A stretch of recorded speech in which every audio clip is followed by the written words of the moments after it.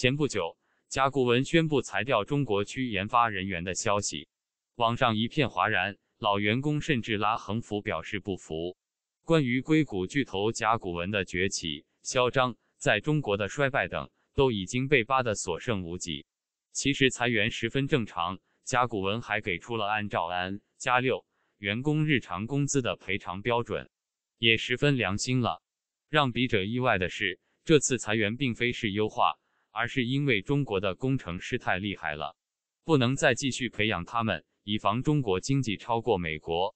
甲骨文创始者拉里·埃里森在十八年接受采访时曾说：“不能让中国产出比美国还多的工程师。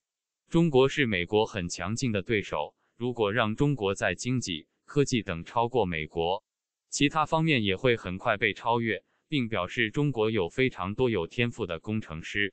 甚至有网友调侃：如果阿里达摩院成功接受被裁的工程师们，若干年后，中国工程师依旧是中国人仰望的大神。在很多国人对中国制造、中国创新产生质疑的时候，外国人已经看到了我们的厉害，并有意识的压制。这次甲骨文的裁员，或许也能让国人重新思考：中国的科技公司有创新精神。是的。